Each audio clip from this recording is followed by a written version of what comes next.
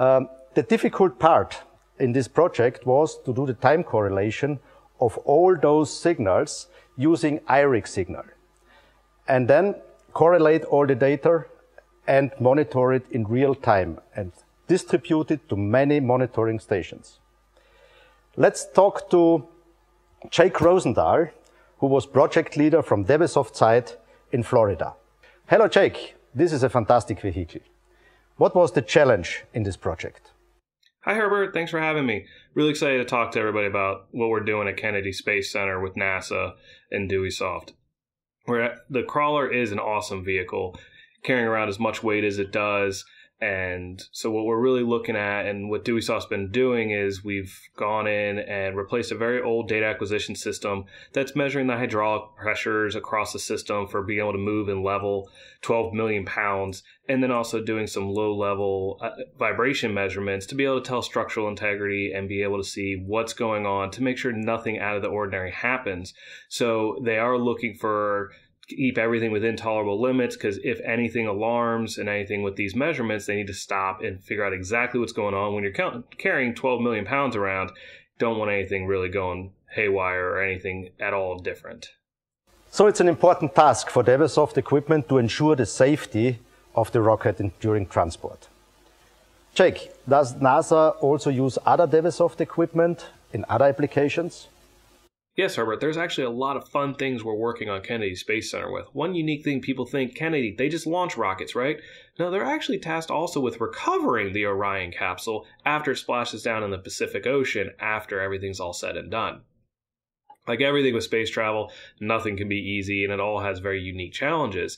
And because the Orion capsule, it's fragile. It's it's designed to fly through space and come back safely but it's not designed to be lifted and moved around except by a rocket. So it wasn't designed to actually be lifted out of the water like the old Apollo or the Gemini Mercury capsules by a helicopter. Those were designed to have the structural integrity to be picked up by the top. The Orion capsule cannot. It's too big. It carries too many people. And so they're going to, instead of trying to pick it up out of the water, they're going to let it float. And there's these Navy ships that actually can have the back end where hovercraft normally go in. They flood with water and they put a cradle in there and they're just going to simply float the capsule with ropes pulled into the back of the ship and then be able to set it down on this capsule and keep everything nice and calm to preserve the capsule.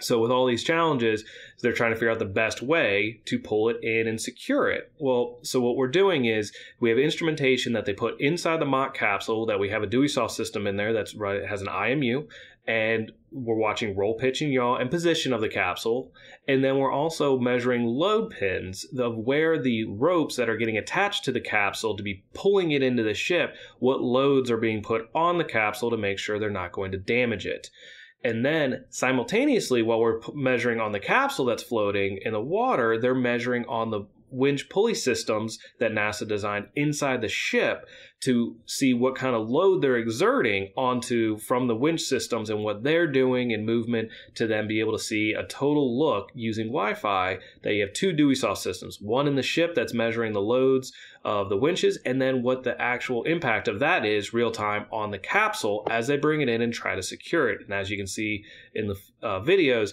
it is a very difficult challenge with different wave things, even when it looks like a calm ocean. Really cool, neat application that we get to play in as well.